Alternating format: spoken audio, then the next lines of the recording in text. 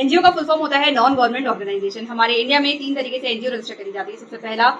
Trust बनाकर second society बनाकर third section eight company के थ्रू सबके माइंड में एक बेसिक क्वेश्चन ये आता है कि यदि कोई पर्सन किसी गवर्नमेंट जॉब में है तो क्या गवर्नमेंट जॉब में रहने के दौरान वो किसी एनजीओ का एज अ मेंबर या फिर एज अ डायरेक्टर जुड़ सकता है? तो यस बिल्कुल जुड़ सकता है, लेकिन यहाँ पर आपको ध्यान देने वाली बात यह है कि जब आप किसी गवर्नमेंट जॉब के लिए अप्लाई करते हैं और जब आपका ज्वाइनिंग लेटर आता है तो उस ज्वाइनिंग लेटर या फिर यू कहेंगे एम्प्लॉयमेंट लेटर में भी आपको स्ट्रिक्टली मना किया गया है कि आप अपने एम्प्लॉयमेंट के दौरान किसी भी एनजीओ में एज अ मेंबर या फिर एज अ डायरेक्टर नहीं जुड़ सकते हैं तो यहाँ पर आपको स्ट्रिक्टली प्रोहिबिट किया जा रहा है। उस सिचुएशन में आप किसी भी एनजीओ के एज अ डायरेक्टर या फिर एज अ मेंबर नहीं जुड़ सकते हैं। लेकिन इस टाइम आप क्या कर सकते हैं, आप अपने किसी भी फैमिली मेंबर को उस एनजीओ में एज अ मेंबर या एज अ डायरेक्टर जोड़ सकते हैं।